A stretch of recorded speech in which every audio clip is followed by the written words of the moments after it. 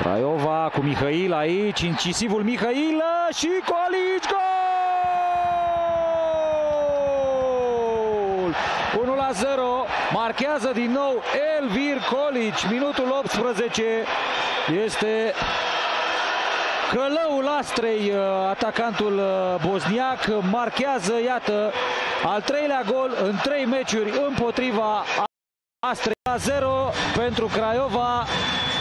Din nou Elvir Colici, golul cu numărul 13 în acest campionat pentru atacantul bosniac. Colici îl egalează în acest moment pe Mitriță în topul celor mai buni marcatori ai Craiovei, cu mențiunea că Mitriță a plecat de la Craiova. Minge recuperat aici de Bancu, Mihail superior la capitolul viteză în duelul cu Bejan, greșeli în lanț în defensiva Astrei aici, Lazar și Sestor se încurcă reciproc și Colici profită de toate aceste bâlbuieli ale apărării Giurgiuvene. 1 la 0 așadar, Elvir Colici este omul potrivit la locul potrivit.